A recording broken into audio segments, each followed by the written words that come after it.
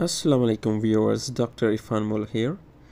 Today we will discuss about very interesting topic named as approach to polyuria. Usually parents come to you and they are concerned that child is having excessive urination.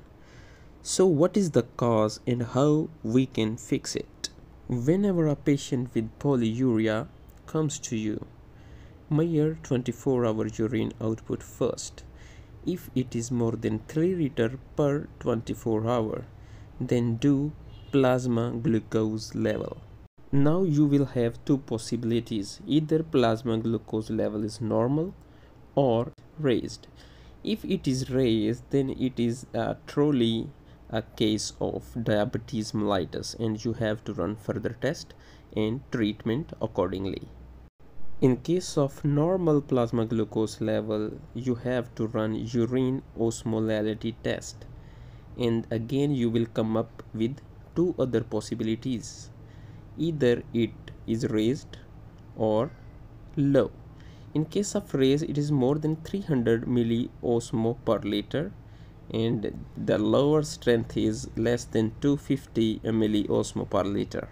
Uh, when a urine osmolality test have value more than uh, 300 osmo per liter, it is a clear-cut case of solute diuresis, which is caused by drugs just like diuretic and mannitol, contrast or urea. When the value is lower than uh, 250 osmo per liter, and now you will do again another test which is serum sodium level, and you will come up again with two other possibilities. Either it is normal or it is low.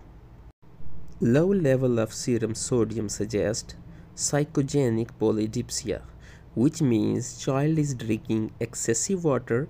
That's why he is urinating excessively. In case of normal uh, serum sodium value you have to run another test which is known as water deprivation test uh, let's talk about uh, water deprivation test first.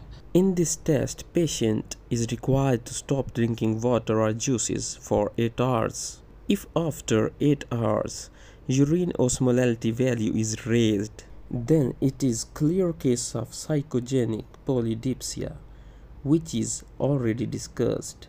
And if it is continue less than 250 milliosmo per liter then it is a case of diabetes insipidus.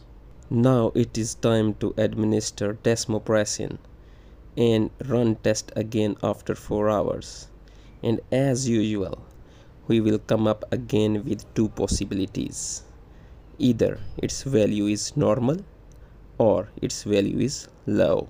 If after administration of desmopressin, urine osmolality value remain low then it is a case of nephrogenic diabetes insipidus. And if after desmopressin urine osmolality is in normal range, then it is a case of cranial or central diabetes insipidus. That's all for today. If you have any doubt or question, you can ask in comment section. Thanks.